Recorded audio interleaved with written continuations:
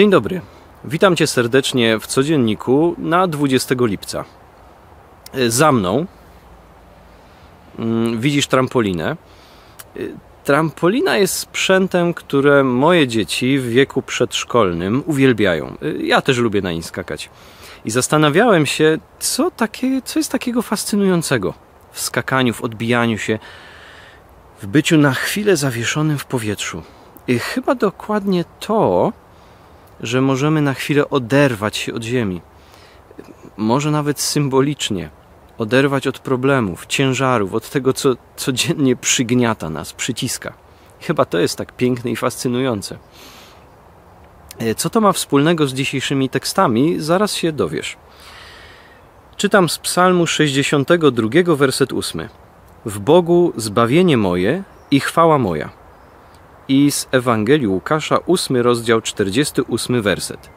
Jezus rzekł do kobiety: Córko, wiara twoja uzdrowiła cię, idź w pokoju. I szczególnie drugi fragment ma wiele wspólnego z trampoliną. To są słowa y, z historii uzdrowienia kobiety cierpiącej 12 lat na krwotok. Ta historia jest y, niejako wciśnięta w historię uzdrowienia córki Jaira y, i wydarza się, kiedy Jezus jest w drodze do domu Jaira. Jest ogromny tłum y, i nagle kobieta, która nie tylko, to nie tylko była choroba, to było także wykluczenie społeczne. Krwawienie powodowało, że była ona w nieustannym y, stanie nieczystości rytualnej. To oznaczało, że powinna się trzymać na odległość z dala od innych ludzi, jak i nie mogła uczestniczyć w kulcie.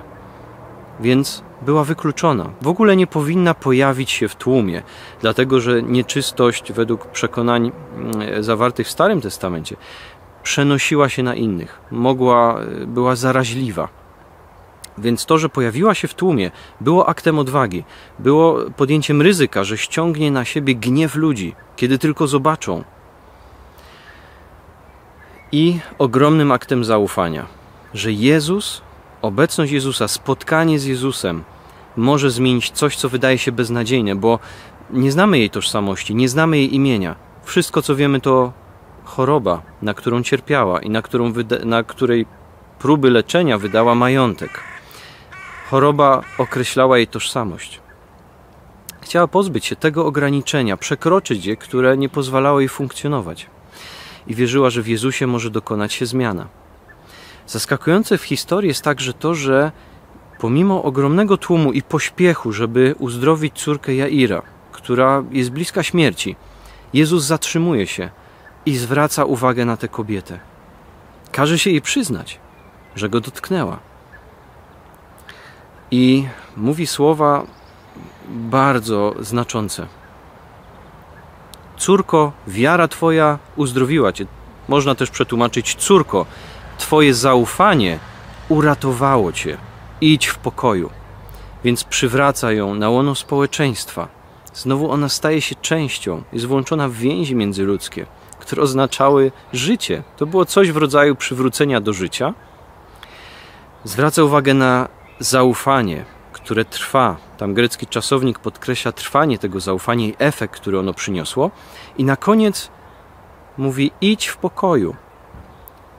To sięga hebrajskiego słowa shalom, które oznaczało doświadczanie pełni.